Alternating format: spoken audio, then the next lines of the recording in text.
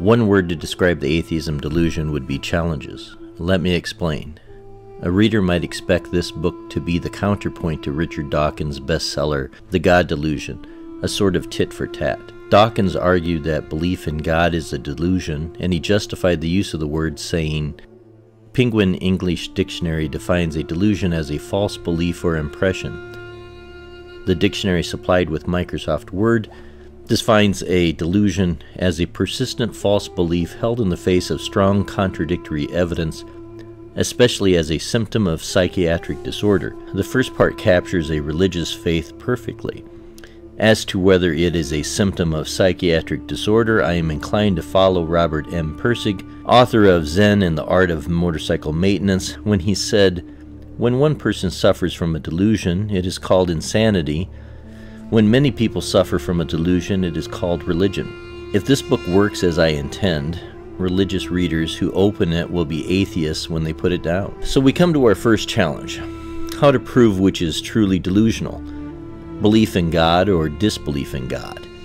Dawkins brings a lifetime's worth of scientific evidence and reason to make his case. We have come to expect a counter argument, the God argument, to be framed with biblical passages and imagery lacking in any coherent proof, Ken Ham style. We also expect this type of book to be preaching to the choir, written to bolster our already preconceived beliefs, comforting for the co religionists, but completely irrelevant to critical scientific minds. Is it possible to make a scientific case for God? If so, could the case for God be so scientifically provably strong that it is actually disbelief or atheism that is the delusion, the persistent false belief held in the face of strong contradictory evidence? If that question fascinates you, this book is for you. Which brings us to challenge number two. If the religious reader is expecting a free pass in this book, the opening chapter quickly dispels that. It doesn't coddle the religious crowd, it shines the light on them first. Like an opening salvo, a shot across the bow, a caution to all those who dare to enter. The title might seem like the target is atheism, but the real target is actually all things delusional and irrational, whether dressed in belief or disbelief. And the arbiter in this contest science and the God given mechanism of intelligence, as the author calls it, that each reader possesses. The book is in part a response to Dawkins' God delusion, but it is much more than just that. It is a response to all delusional beliefs. The atheism delusion is about the epic journey of mankind, surprising the reader and keeping them off balance. Things are not as you expect, and not as you thought. This is a book giving the case for God that isn't based on books that depend on a belief in their divine origin, or in men who readers may even doubt ever existed. The book is based on the scientific method, provable science, and unbiased analysis. The author takes the reader back in time through this epic journey using all available evidence.